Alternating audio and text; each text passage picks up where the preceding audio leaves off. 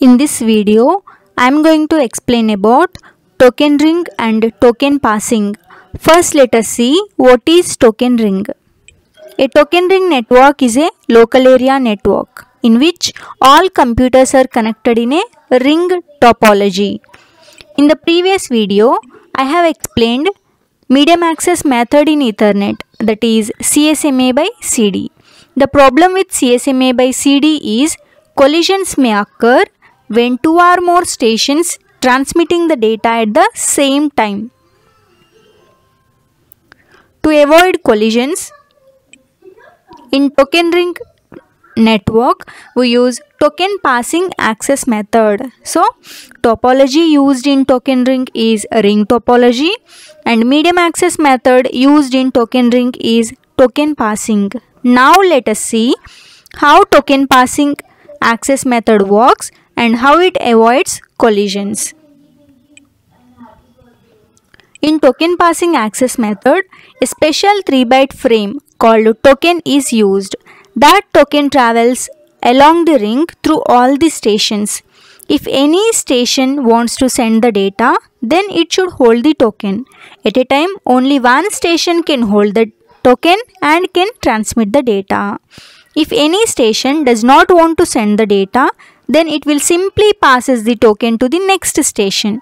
Passing the token means receiving the token from the preceding station and transmitting the token to the successor station. In token ring, the data flow is unidirectional that is in the direction of the token passing. The data cannot flow in both the directions. Okay.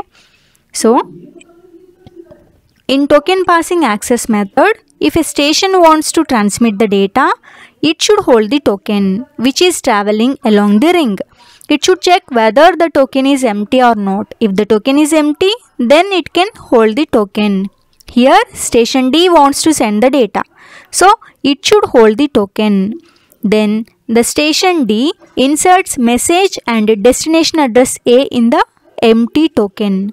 Then the token travels along the ring through all the stations. The token is examined by each successive station to check whether that particular message is intended for that station or not.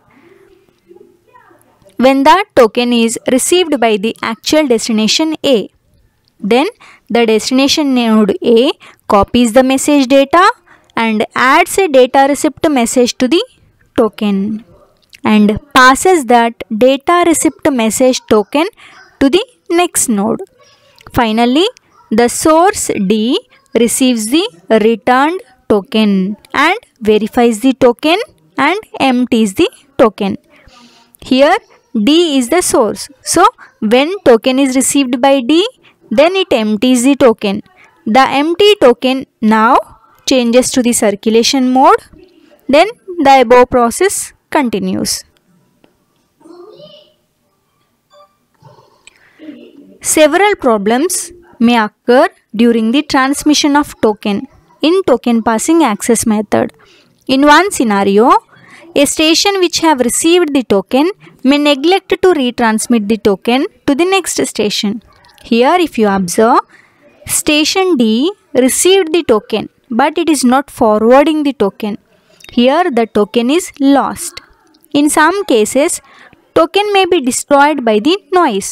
Here if you observe, the token is destroyed in between the stations C and D.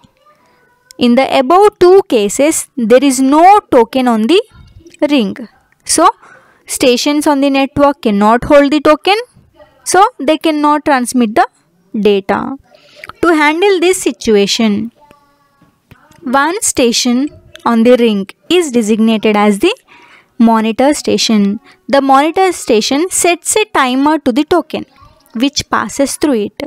If the token does not return to the monitor station within the allotted time, then the token assumed to be lost.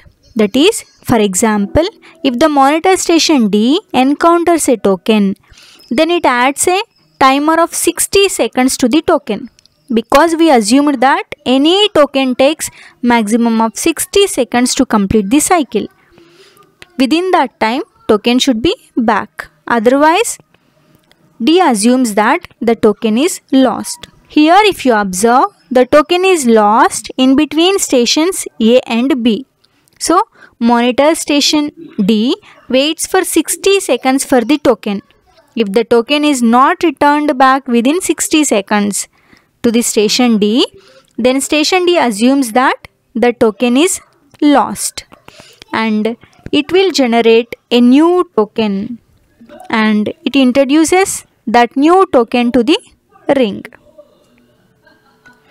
And the next problem is let us assume that station B wants to send the data to station E. So station B holds the token and it transfers the data and destination address E to the next station. When E receives the token, it copies the data and it transfers the data receipt message to the next node.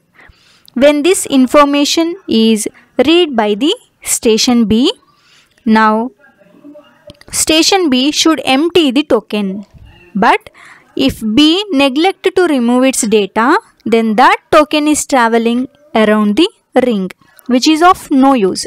To solve this problem, a station in the network is considered as a monitor station. Here we assume that station D is the monitor station. When any frame passes through the station D, then it sets the status bit to the token. For example, here if you observe, station B wants to send the data to station E. So, station B holds the token and it transfers the data and destination address E to the next station. When that token passes through the station D, it sets a status bit to 1 and now this token is passed to the next station. When E receives the token, it copies the data and it transfers the data receipt message to the next station. When this information is read by the station B, now B should empty the token.